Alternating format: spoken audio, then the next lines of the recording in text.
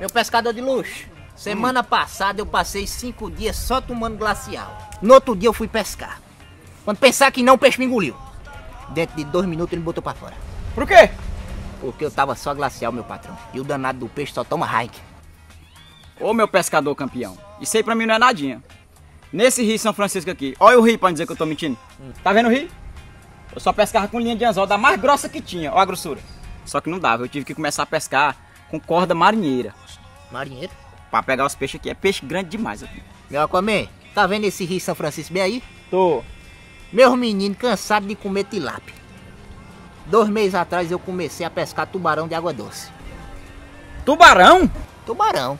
O martelo. Ô meu pequeno Nemo, isso aí não é nadinha.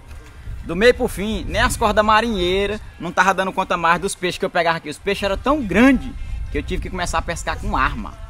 E não era qualquer arma não. Eu tive que trazer uma arma do Iraque, uma tal de AK-47, pra me conseguir matar uma piaba aqui. Ô, meu rambo das águas doces, isso aí é besteira, meu amigo. Tu Hum. lembra da época que eu não tinha um real no bolso e eu cobri minha casa todinha? Lembro.